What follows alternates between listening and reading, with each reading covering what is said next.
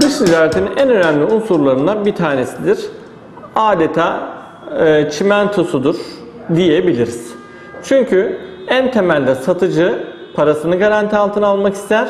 Alıcı da istediği nitelik, özellik, kalite, miktar, zamanda malı garanti altına almak ister. Ve burada da e, iş güveni iki taraf içinde en önemli birbirleriyle iş yapmalarını sağlayacak unsurdur.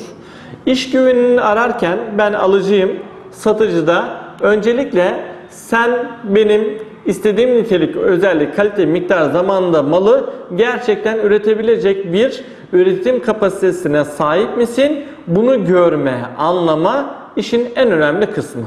Bu yüzden dolayı da ithalatçı ister bizzat ihracatçının, üreticinin bulunduğu ülkeye ve fabrikasına kadar giderek gerçekten istediği nitelik, özellik, kalite, miktar, zamanda malı üretip üretemeyeceğini görebilmesi iş güveninin e, başlıca unsurlarındandır.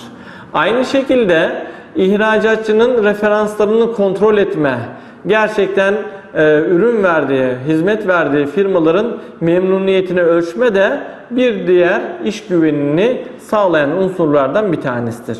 İthalatçının ihracatçı da aynı şekilde araması gereken en önemli özelliklerinden bir tanesi de yine üretim, yönetim, pazarlama, satış, satın alma, lojistik yönüyle de gerçekten istediği nitelik, özellik, kalitede hizmeti ve ürünü zamanında verip veremeyeceğinin de kontrolü olması gerekir. Yine firmanın, e, ihracatçı firmanın e, ithalatçının ülkesindeki mevzuatta gerekli belgeleri, prosedürleri yerine getirebilecek bir kapasite seviyesinin olması da önemlidir.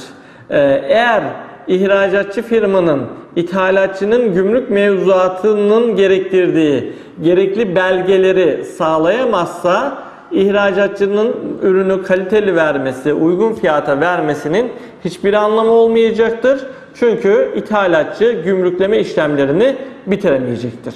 Aynı şekilde ithalatçı sözleşme ve ödeme yöntemleriyle de kendini garanti altına almaktadır.